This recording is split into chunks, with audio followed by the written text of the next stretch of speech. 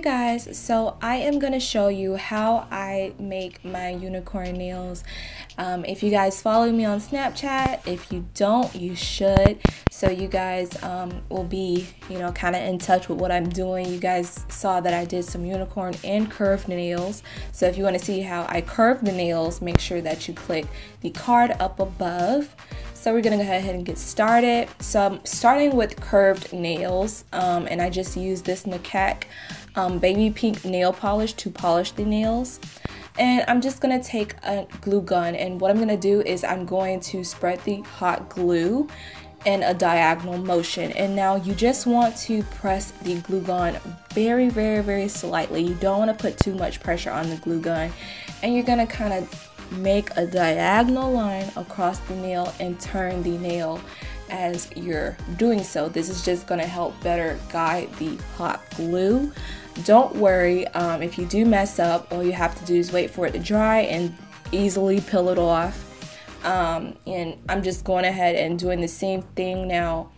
With the way that the camera was angled, it was kind of hard for me to, you know, do it. So I might mess up, but um, you guys kind of get the gist of how to do it. I've been wanting unicorn nails so bad, but I don't want to go get my nails done because I braid my hair too much and you know press-ons were just a lot easier.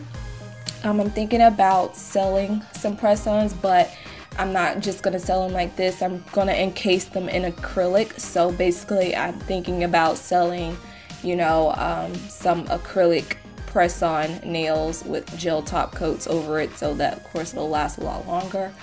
So basically what I'm doing is you see me going over the nail and um, the little grooves. Now as you um, start doing this a lot more, of course you would get a little bit more better uh, or better with the hot glue gun. And I'm not, I'm not gonna do a smaller nail.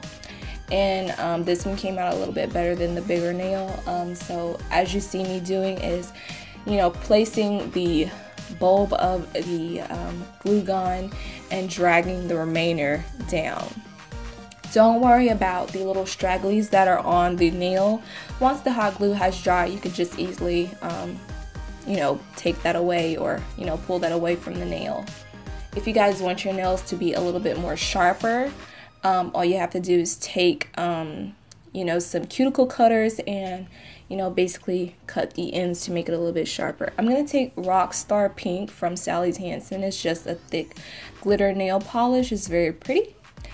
And um, I'm to take a striper, a nail striper, and I'm just to go over the, um, you know, the 3D horn.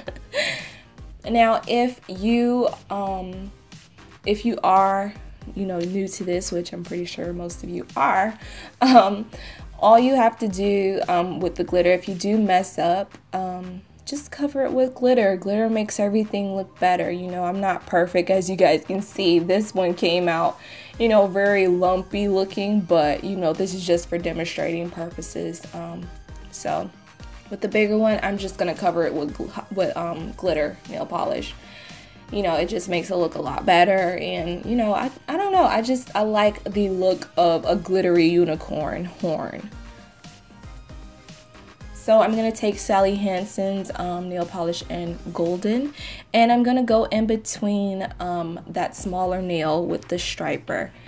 And um, this is just an old nail polish striper that I'm using. Um, I didn't go and buy any because why do that when I have plenty of nail striper polishes that you know I can use. So I'm just going in between um, the unicorn nail to kind of give a little bit more of an iridescent type feel, glittery type feel.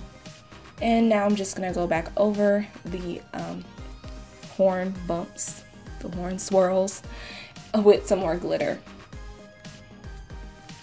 I am going to top it off with some clear nail polish. Now, I would recommend, if you do have a UV lamp light and some gel polish, I would recommend you encasing it in gel for it to last a lot longer because this is hot glue, you guys. Um, I have had maybe one or two of my little pieces come off, but if you use gel polish or, you know, if you use gel polish or if you use uh, a UV lamp with gel polish, it'll work just fine. So I hope you guys enjoyed.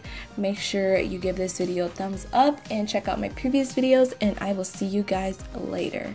Bye!